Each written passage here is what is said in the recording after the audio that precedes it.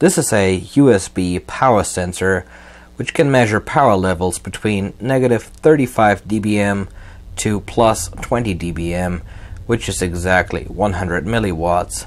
And uh, the frequency range covered by this device is 50 to 4000 megahertz. The real bonus point of this uh, sensor is, of course, that you can interface it with all kinds of uh, software. So uh, while often, if you if you have a mobile power meter or a field power meter, um, you're often tied to to the sensor's readouts and to the sensor's uh, way of storing your measurements into files. But uh, this sensor actually interfaces with uh, just about anything you can possibly think of. Uh, Mini-Circuits does provide um, documentation on how to interface with C++, C Sharp, uh, Delphi, LabVIEW, MATLAB. I think there's even some uh, Python scripts and of course Visual Basic. So uh, you pretty much get anything covered with that to integrate this into uh, automated test solutions uh, in the industry.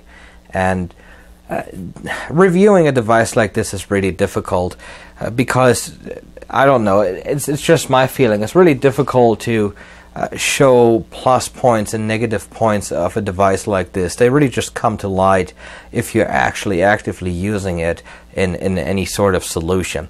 So I'm just going to go briefly over the data sheet with you, talk a little bit about what this thing can do.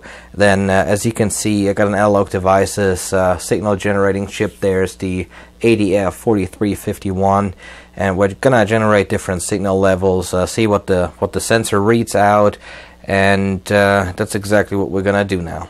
Now if you unbox this device there's actually some really nice things in there. For instance one thing that was in there is this.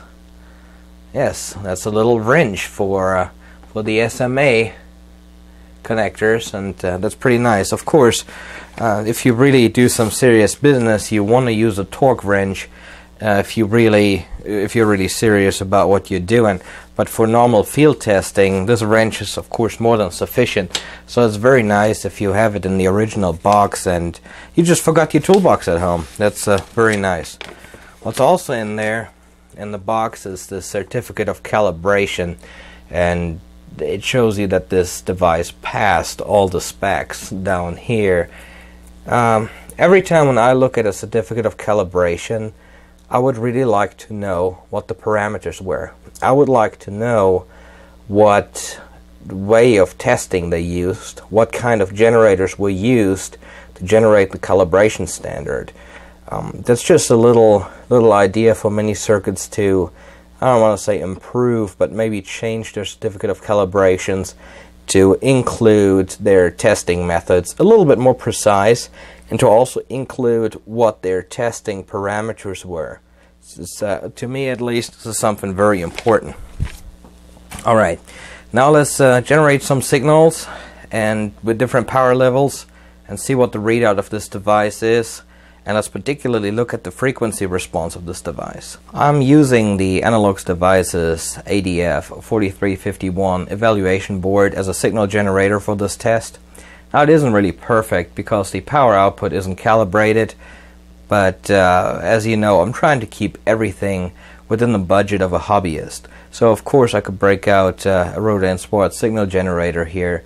Uh, well it's out of calibration but I'm pretty sure it's still pretty good definitely better than this eval board but let's just stick with this. We don't really care about the the the precision and all that. What we care about is the frequency of response and things like that. Now another thing I am generating a continuous wave a single tone signal here. Uh, the sensor is specifically made for measuring modulated signal uh, so you can measure your uh, digitally modulated signals with the sensor no problem without affecting the readout. In the datasheet you're going to find a table that lays out very specifically what the parameters are and what your error tolerance is with every modulation scheme that you could possibly use.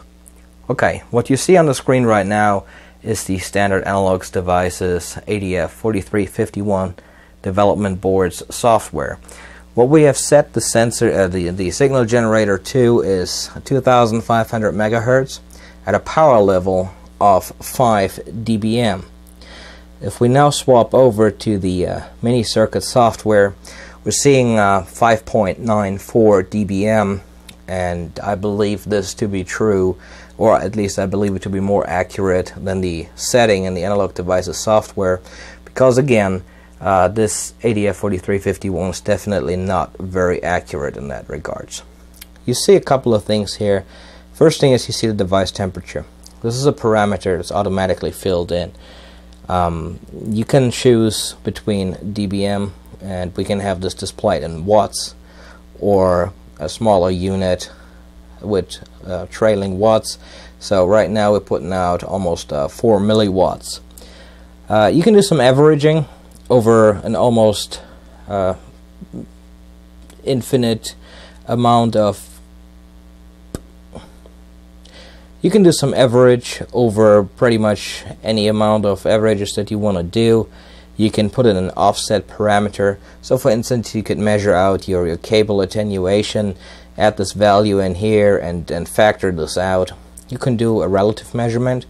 So if we hit this relative button uh, right now of course it's jumping around a little bit if we go back into our software change the level down negative 2 dBm in other words difference of 3 dBm. We should see this now, and we do. We have almost 3 dBm here, less, so it's why we have a negative sign in front of it.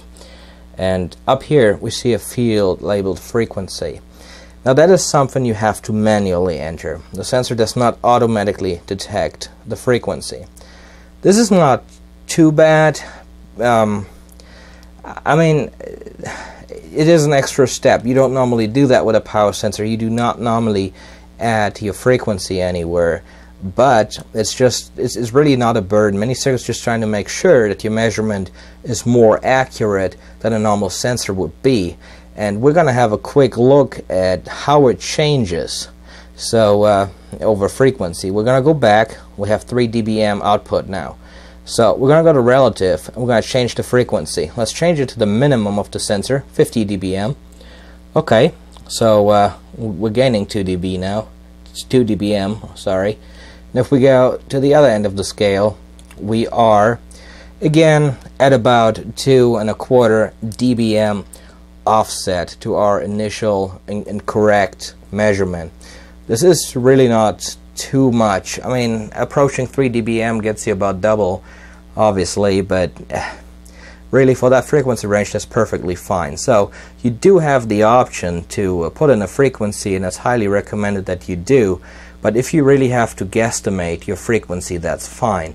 For instance, let's go in the, in the TV world where you may have a microwave gear at an, at an uh, being fed at an IF of uh, 70 megahertz if you want to measure your 70 megahertz IF, uh, you can just put 70 megahertz in there without knowing the exact frequency. You know, if there's a little offset to the side, obviously you have to talk about accuracy of, of your oscillator there to begin with. But um, there's so many things where you can just guesstimate. I mean, if we really just move off a little bit, let's move move off uh, 400 megahertz. You know, this is almost insignificant, and the closer we get to the actual frequency, the more precise we get. So again, if you just know that, let's say your your Wi-Fi card is about at 2.4 gig, well, that's all you got to put in, 2,400, and you're going to be golden. Um, you do have an option between faster and low noise. And it appears that this is also some sort of averaging. At faster, your value jumps jumps around a lot, especially on the least significant digit. It seems to detect changes much faster that way too. If you enable low noise, that's a little bit more steady and still jumping around and the power probably does fluctuate here too. You can put in several sensors. You can actually record your data uh, there's a bunch of parameters you can specify for that. We're not going to go into that because that's too much detail. That's just supposed to be a, a quick review, a quick overview of what this thing can do. And that's going to be everything that I'm going to show you about the sensor. Like I said, really reviewing something like this is, is kind of tough and I didn't really want to. I just wanted to give you an overview of what this product is, what it does, and what you may be able to use it for. Um, you can see a lot of the details in the data sheet and like I said the API interfaces are very well documented. And if Mini-Circuits allows me to keep this uh, sensor for a little bit longer obviously that is a, uh, a demo that they uh, that they supply to the blog that I'm supposed to send back after I'm done with this. But if they allow me to keep it a little bit longer I'm sure we'll actually put this into a practical setup and see what we can do with it. I have a couple of ideas but uh, yeah, I'm going to have to talk to my Mini-Circuits and see if I can keep this for a little bit longer. Now, one thing I want to mention, this is a true RMS sensor, okay? So it's not just good for your continuous wave single tone signal. And like I said, it's, it's intended to be used with digital modulation schemes. And the measurement uncertainty, the power uncertainty, is actually quite impressive. The uh, typical uncertainty for QPSK, MSK, DQPSK, 256 QAM and 4 QAM is all around about uh, plus minus 0.1 dB. That's very impressive. That's, uh, that's that's really really nice. And like I said, that's that's a level where you do need to know your frequency. That's why you shouldn't think of having to enter the frequency as an extra burden. This is really a feature to be able to get more accuracy uh, close to your target frequency. Of course, you, you can correct all kinds of things. Uh, you know, I mean, many other sensors do not require you to put in a temperature value, but they will stray quite a bit over their entire frequency range. And here, this sensor has an integrated correction factor for each frequency. So as long as you're close to what your actual frequency is, you're good. So you don't need to get this, as we shown earlier, close to a megahertz or even tenth of megahertz. As long as you put it about 100 megahertz or so close enough to your actual target frequency, this uh, measurement is going to be pretty accurate.